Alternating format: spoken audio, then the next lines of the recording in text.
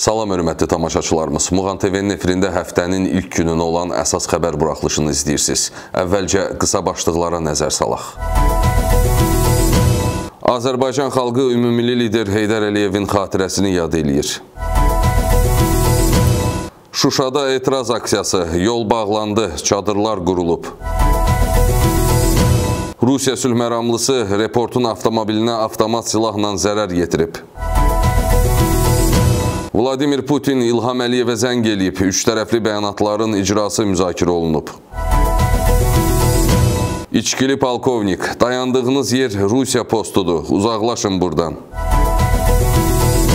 Ceyhun Bayramov Brüsseldə keçirilən iclasda çıxış eləyib. Həbsdən çıxan keçmiş nazir ilk dəfə görüntülənib. Gədəbəydə 17 yaşlı qız 50 yaşlı kişiyə ərə verilib. Dünya Çempionatı 2022 Argentina-Xorvatiya oyununun hakimləri bəlli olub.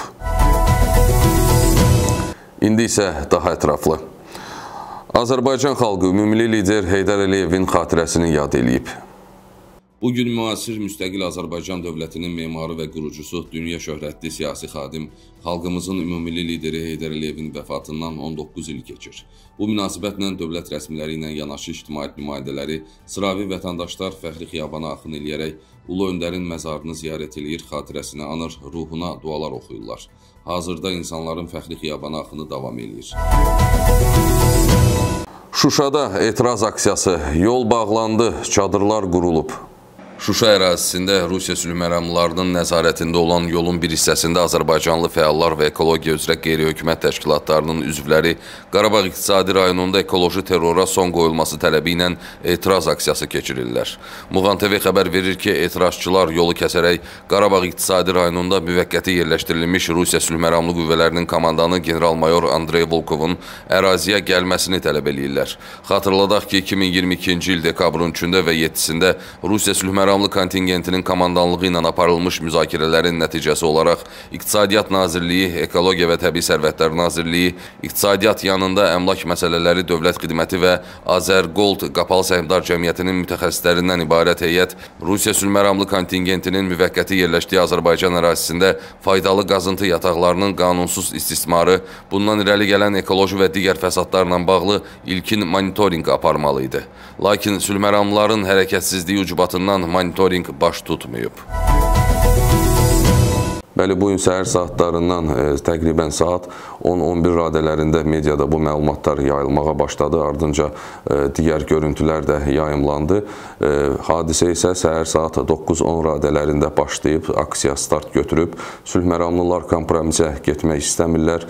E, eyni zamanda media nümayəndələrimizə öz fəaliyyətini aparması üçün e, maneçilik törətməyə başlayıblar. Avtomobillərin qarşısını kəsiblər. Onların e, sərbəst çəkiliş eləməklərinə etməsində maneələr yaradıblar və təbii ki, aksiyaçıların əsas məqsədi e, sülh məramların komandanı Andrey Volkovun əraziyə gəlməsidir. Tələbi bundan ibarət idi. Ancaq Volkovun əraziyə gəlməsini müşahidə etmək mümkün olmayıb.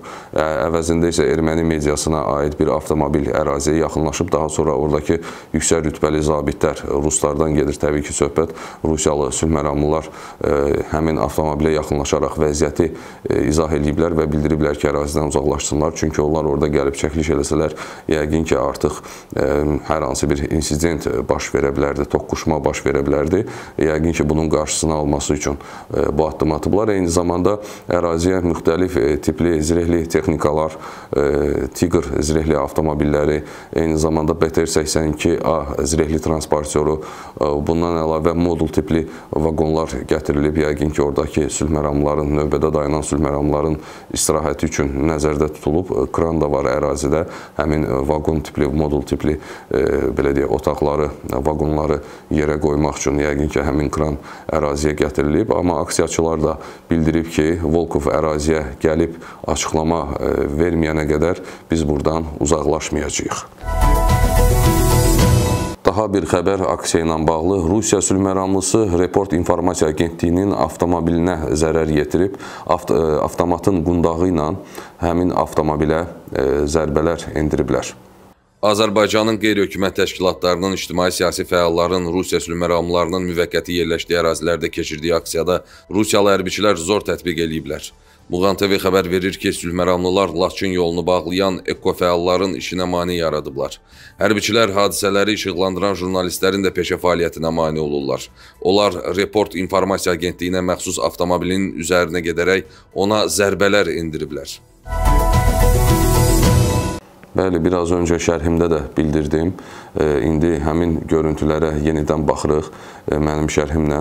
Oradakı sülh məramlılar avtomobilin qarşısını kəsib, hətta təxribata çəkməyə çalışırlar ki, sanki bizim belə deyək, informasiya agentliyinin avtomobilinin sürücüsü avtomobili hərəkət etdirsin, sürsün onun üzərinə. O da həmin təxribatı törətdikdən sonra hər hansı bir cavab tədbiri görsün. Qısa haşiyə çıxmaq istəyirəm ki, ərazidə dayanan sülh məramlılarda PKM pulemyotu PKM pulemyotu, eyni zamanda RPG-7 qumqar atanı var üzərlərində.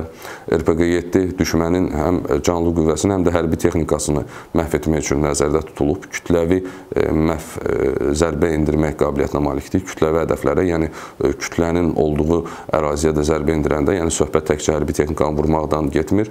Hər hansı bir kütlənin olduğu nöqtəyə həmən qumbar atandan atəş açdıqda kifayət qədər böyük tələfat verdirə bilən bir qumbar atandır həmin qumbaratanlarla silahlanıblar. Eyni zamanda PKM pulemyotundan gedir söhbət. Yəni orada dayanan mülki şəxslərdir, e, sadə vətəndaşlardır və onların yanına, qarşısına e, PKM pulemyotu ilə çıxıblar. Hətta barikadanın üzərinə qoymuşdu həmin PKM pulemyotunu Rusiya sülh məramlısı.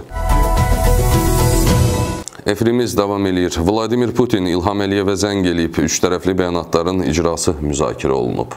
Rusiya Federasiyasının prezidenti Vladimir Putin dekabrın 12-sində Azərbaycan Respublikasının prezidenti İlham Əliyevə zəng eləyib. Muğan TV xəbər verir ki, bu barədə Azərbaycan prezidentinin mətbuat xidməti məlumat yayıb. Telefon söhbəti zamanı Rusiya, Azərbaycan və Ermənistan liderlərinin 2020-ci il 10 noyabr, 2021-ci il 11 yanvar və 26 noyabr, həmçinin bu il 31 oktyabr tarixli razılaşmalarının reallaşdırılmasının bəzi praktiki aspektləri, o cümlədən Cənubi Qafqazda iqtisadi və logistik əlaqələrin bərpası planı planları müzakirə edilib. Dövlət başçıları gələcək təmaslar barəsində də fikir mübadiləsi aparıblar. Böyük ehtimal əlbəttə ki, bu gün baş verən hadisələrlə bağlı Rusiya prezidenti Vladimir Putin prezident İlham Əliyevə zəng eləyib. Çünki Putin də narahatdır. Putin də yaxşı başa düşür ki, bu məsələ e, belə deyək, sona qədər belə davam eləyə bilməz. Ona görə də dərhal prezident İlham Əliyevə zəng eləyib, müəyyən müzakirələr aparılıb, amma e, mətbuata bu barədə ətraflı hər hansı bir açıqlama verilmədiyinə görə e, tam ətraflı belə deyək, izahını vermək mümkün deyil, amma ümumi təsvirdə bildirmək olar var ki, e, Rusiya məsələdən narahatdır, e, prezident Vladimir Putin məsələdən narahatdır, sülh məramların ərazidəki fəaliyyətindən e, narahatdır. Hazır ki, orada baş verən hadisələrdən narahatdır. Ona görə də dərhal prezident İlham Əliyevə zəng eləyib. İçkili polkovnik, dayandığınız yer Rusiya postudur. Uzaqlaşın buradan. Bugün səhər saatlarında Qarabağda başlayan etiraz aksiyası davam eləyir. Sülhməramlı kontingentin komandanı Andrey Volkovun əraziyə gəlməməsi etirazçıları daha da coşdurub. Media nümayəndələrinə yaxınlaşan sülhməramlı kontingentin polkovniki isə media nümayəndələrimizi ərazidən uzaqlaşmağa çağırıb. O bildirib ki, dayandığı post Rusiya ərazisi hesab olunur. Polkovnikin içkili olması da media nümayəndələrinin gözündən qaçmayıb. Bəli, məhz bu frazanı işlədir orada e, Rusiyalı polkovnik. Polkovnik içkilidir. Orada e, həmkarlarım da, e, jurnalistlər də bildirir ki, həm görüntülərdə də var ki, bildirirlər ki, ondan spirt iyi gəlir, spirt qoxusu gəlir. O içkilidir, gözləri axır, ayaq üstə güclə dayanır və bildirir ki, dayandığınız yer Rusiya postudur. Rusiya sülh məramlarının ərazisi sayılır. Cavabında isə jurnalistimiz bildirir ki, bu Rusiya postudur, amma Azərbaycan ərazisidir. Azərbaycanın suveren ərazisidir, torpağıdır. Siz burada bizə əmr edib e, göstəriş verə bilməzsiniz. E, və polkovnikin bu açıqlaması əlbəttə ki, bir hiddət doğurdu. Həm oradakı kütlədə, həm e, ekran qarşısında onu izləyəndə belə bir açıqlama verməsi bura Rusiya postudur, Rusiya sülh məramlarının ərazisidir və uzaqlaşın buradan göstəriş verir. Öz Azərbaycanlımıza, öz suveren torpağımızda göstəriş verir. Bəli, Rusiyalı sülh məramlılar öz mandatlarını həqiqətən də kənarına çıxmır çıxmayıblara, kvadratını keçiblər və onlara öz yerini bildirmək lazımdır. Təbii ki, diplomatik səviyyədə söhbət gedir. Diplomatik səviyyədə onlara öz yerlərini bildirmək lazımdır və anlatmaq lazımdır ki, siz e, bizim torpağımızda dayanmısınız, amma yeri gələrsə, hər hansı orada bir təxribat olarsa və yaxud bizim e, bundan sonrakı dövrdə də mülki vətəndaşlarımıza qarşı və yaxud da ki, orada çalışan e, işçilər var, Qarabağda fəaliyyət göstərən əməkdaşlar var ki, tikinti, yenidən qurma, yenidən bərpa işlərində onlar çalışırlar və yaxud media nümayəndələrimizə və s. Ümumilikdə bir Azərbaycanlıya qarşı hər hansı bir təxribat olarsa, əlbəttə ki, bunun cavabı da təkcə diplomatik deyil, həm də e, üzbəüz e, baş verən hər hansı bir toqquşma ilə müşahidə oluna bilər. Azərbaycan ordusu onlara lazımi cavabı verə bilər. Azərbaycan Daxili İşlər Nazirliyinin orada xidmət eləyən bölmələri onların cavabını verə bilər və digər güc strukturlarımız orada fəaliyyət göstərən. Ona görə də e, Rusiya sülh məramları anlamalıdırlar ki, onlar Azərbaycan torpağındadılar. Ola bilər oradakı post e, Rusiya sülh məramlarına məxsusdur, amma postun qurulmasına da icazə verən dövlət məhz Azərbaycandır. Пожалуйста, Ответьте. отойдите, Ну пожалуйста. спокойно, вот ответьте, просто ответьте. Просто ответьте. Ответьте на, ответьте на вопрос, мы уйдем. С территории поста, отойдите, пожалуйста. Это территория Азербайджана, а не поста. Это сейчас, это территория сейчас на данный момент российского миротворческого контингента. Вы, Отойдите, пожалуйста. миротворческий контингент, Отойдите, пожалуйста. здесь на конкретный период. И за этот период вы должны были убрать всех военных армян. Миротворческий контингент здесь стоит согласно трехстороннего заявления. Подписано. Вы читали его? Так Вы точно. ознакомились с пунктами? Да, я... Почему четвертый пункт до сих пор? Ceyhun Bayramov Brüsseldə keçirilən iclasda çıxış eləyib. Azərbaycanın Xarici İşlər Naziri Ceyhun Bayramov Brüsseldə keçirilən Avropa İttifaqının şərq tərəfdaşlığı ölkələrinin Xarici İşlər Nazirlərinin başçılarının iclasında çıxış eləyib. Muğan TV xəbər verir ki, bu barədə Nazirliyin rəsmi Twitter hesabında paylaşım edilib. Qeyd edək ki, Brüsseldə Avropa İttifaqının şərq tərəfdaşlığı ölkələrinin Xarici İşlər Nazirlərinin iclası keçirilir. İclası Avropa İttifaqının xarici siyasət və təhlükəsizlik məsələləri üzrə ali nümayəndəsi Josep Borrell sədrlik eləyir. İştirakçılar şərq tərəfdaşlığının regionda sabitliyin və rifahın möhkəmləndirilməsinə bundan sonra necə töhfə verə biləcəyi barədə fikir mübadiləsi aparacaqlar. Həbsdən çıxan keçmiş nazir ilk dəfə görüntülənib. Bir müddət əvvəl həbsdən buraxılan Naxçıvan Muxtar Respublikasının keçmiş Milli Təhlükəsizlik naziri Vəli Ələsgərov ilk dəfə ictimaiyyət arasına çıxıb. Muğan TV xəbər verir ki, keçmiş nazir Milli Qəhrəman İbad Hüseynovla birlikdə Fəxri Xiyabanda Heydər Əliyevin məzarını ziyarət edib. Qeyd edək ki, Vəli Ələsgərov 14 il Naxçıvan Muxtar Respublikasının Milli Təhlükəsizlik naziri vəzifəsində çalışıb. O 2016-cı ildə həbs edilib. Ali Məhkəmənin 27 sentyabr 2022-ci il tarixli qərarı ilə azadlığa buraxılıb.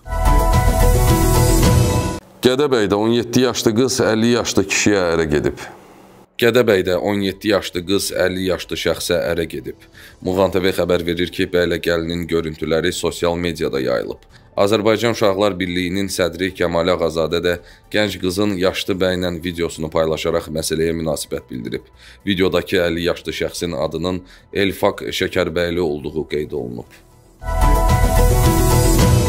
Hadisənin motivləri tam olaraq bilinməsə də, ə, əlbəttə ki, bu həqiqətdirsə, 17 yaşlı qızın 50 yaşlı kişiyə ərə verilməsi nə dərəcədə ə, doğrudur, həm mentalitet cəh cəhətdən, həm belə deyək, qanuni cəhətdən anlaşılan deyil. Yəqin ki, Daxili İşlər Nazirliyinin bu barədə açıqlaması var, amma yəqin ki, növbəti vaxtlarda tam olaraq bu barədə rəsmi məlumat verilər. Dünya Çempionatı 2022 Argentina-Xorvatiya oyununun hakimləri bəlli olub. Qətərdə keçirilən Dünya Çempionatında Argentina və Xorvatiya milliləri arasında keçiriləcək yarımfinal oyununun təyinatları açıqlanıb. Muğan TV bildirir ki, qarşılaşma İtaliyadan olan hakimlər briqadasına tapşırılıb. Baş hakim Daniel Arsatoya Ciro Carboni və Alessandro Giallatini lansmanlar qismində köməklik edəcəklər. Dördüncü hakim funksiyasını Birləşmiş Ərəb Əmirliklərindən olan Məhəmməd Məhəmməd yerinə yetirəcək. İtaliyalı Massimiliano Irrati var hakimi həm yerlisi Paolo Valeri isə onun köməkçisi olacaq. Qeyd edək ki, dekabrın 13-də oynanılacaq Argentina-Xorvatiya maçı Bakı vaxtı ilə saat 23-də start götürəcək. Sonda isə hava haqqında məlumata nəzər salaq. Bakıda və Abşeron yarımadasında dekabrın 13-də havanın arabir yağıntılı olacağı, gündüz tədricən kəsiləcəyi gözlənilir. Milli Hidrometeorologiya Xidmətindən verilən məlumata görə mülayim cənub-şərq küləyi əsəcək. Havanın temperaturu gecə 5-7, gündüz 8-10 dərəcə isti olacaq. Azərbaycanın şərq rayonlarından başlayaraq bəzi yerlərdə arabir yağıntılı olacağı gözlənilir. Yüksək dağlıq ərazilərdə qar yağacağı ehtimalı var. Bəzi yerlərdə duman olacaq. Mülayim qərb küləyi əsəcək. Havanın temperaturu gecə 2-6, gündüz 7-11 dərəcə isti olacaq. Belə əziz izləyicilərimiz, bu günlük sizə çatdıracaqlarımız bu qədər. Muğan TV-də qalın.